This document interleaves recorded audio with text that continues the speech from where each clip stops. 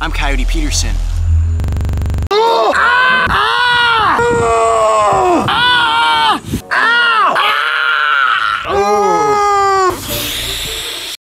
Wow.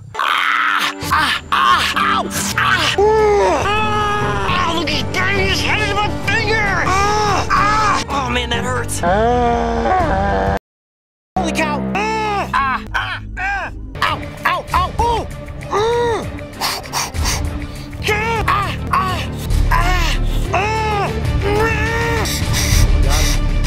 I can't, I can't, I gotta stop, I gotta stop, I gotta stop.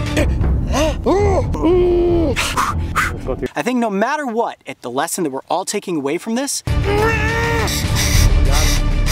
is do your best to avoid any and all ant mounds. Oh my gosh! Give me a second, give me a second, give me a second.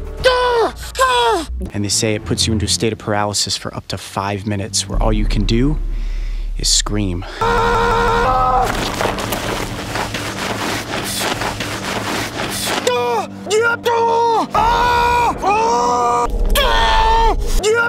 I can't move my arm!